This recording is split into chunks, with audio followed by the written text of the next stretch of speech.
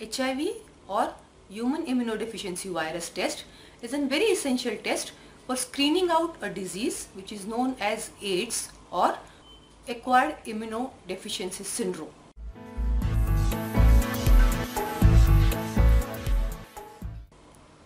Now when somebody wants to get screened themselves for the disease called as AIDS, there are two types of tests one can go ahead with.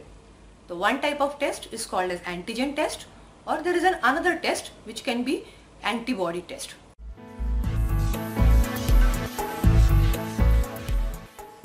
Now for the patients who needs to screen themselves at the initial stages of HIV infection, for these patients the doctor will advise an antibody test.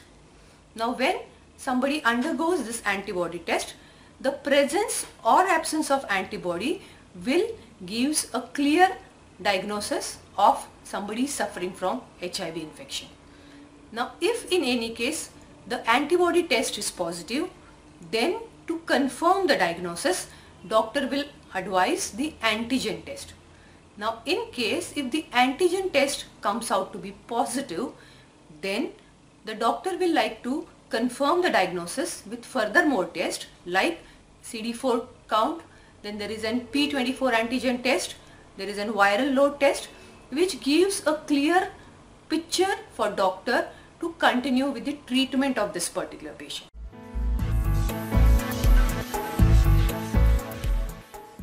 The regular HIV testing which routinely carries out in labs for the screening of blood donors, plasma donors or even in patients who wanted to confirm their HIV status. In this particular patients, the routine test carried out is the antibody test.